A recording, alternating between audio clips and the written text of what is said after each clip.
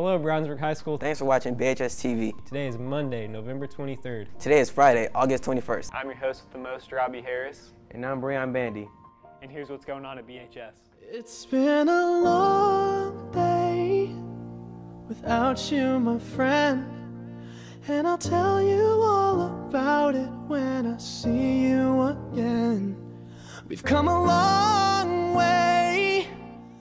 That's all we've got for you today, BHS. Thanks for watching. Have a wonderful weekend.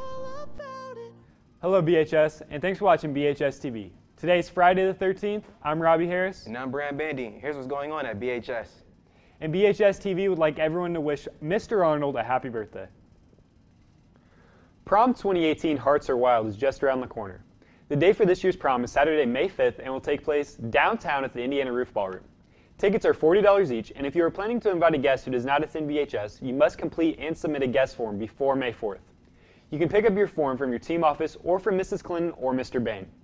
Tickets will be sold from April 26th to May 4th at lunch. Applications for Chainlink Senate are available in Mrs. Bess's room, Senior Academy 205, and Miss Boffman's room, C105. Applications are due back by today.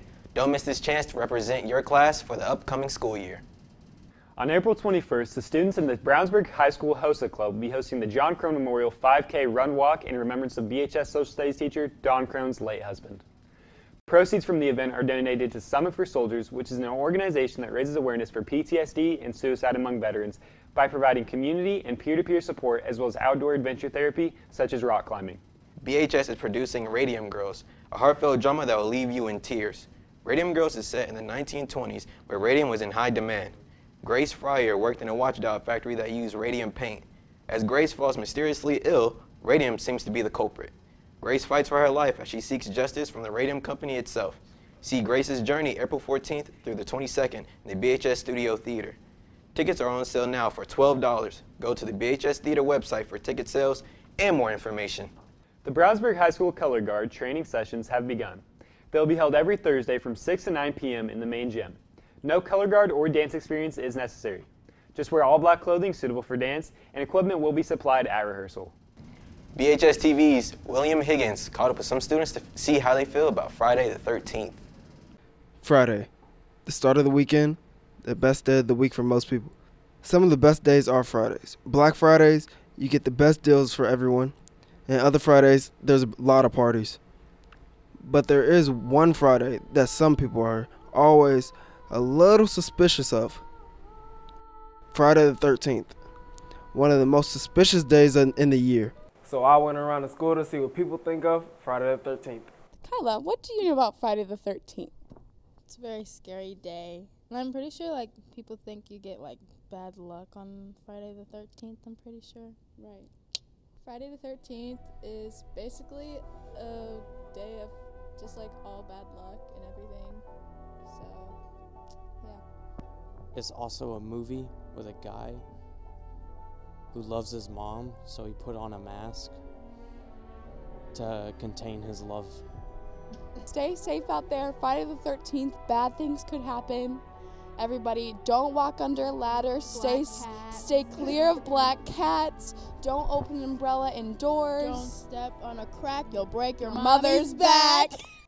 Some people say it's just the movies, other people say it's just scary. Here's the real reason why Friday the 13th is so superstitious.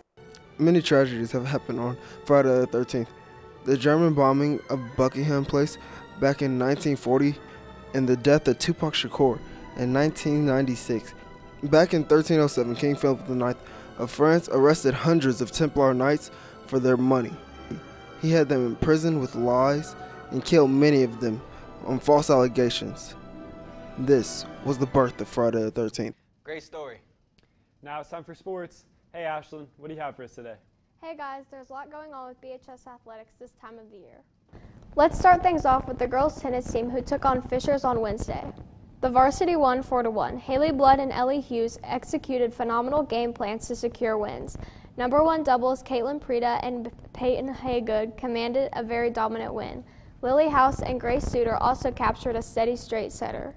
The JV team rocked the house with a 10 to 1 score. Congrats to all the ladies who secured victories in that match. Yesterday, the ladies took on fourth ranked Center Grove and lost a well played match 4 to 1. The number one doubles team of Caitlin Prida and Peyton Haygood earned the lone point in a solid straight set victory. The JV team shut out the Trojans 6 0 to remain undefeated.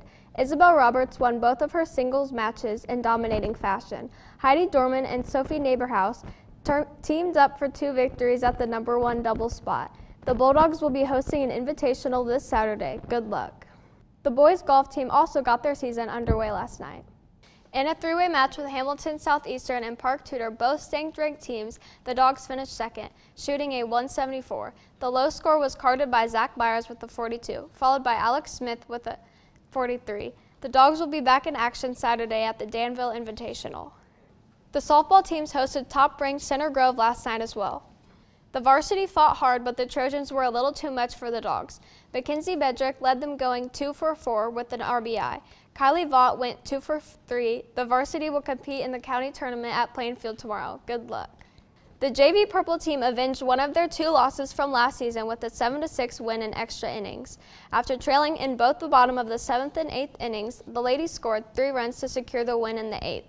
Ciara Castile went for 5 for 5 with three runs scored and two steals. Tori Breckler went 4 for 5 with three doubles and three RBI, including the game winning hit. Nice job, ladies. The JV baseball team traveled to Columbus East on Wednesday with two outs in the top of the second inning. The Dogs scored five runs on five hits and never looked back, winning 11 to 1 in five innings.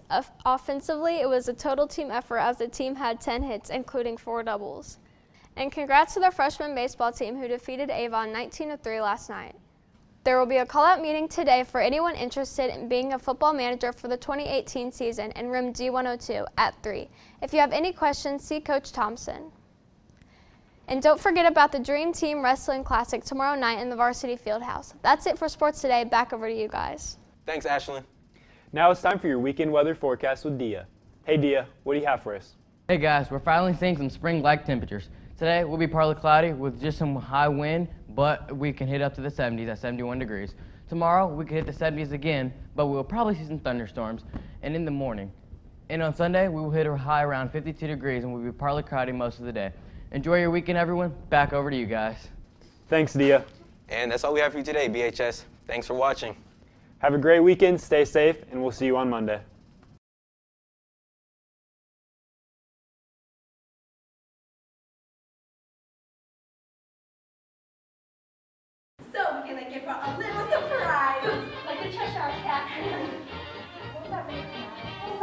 Let her get mad. That's half the fun. Irene? Irene? Honey, you alright? Wait.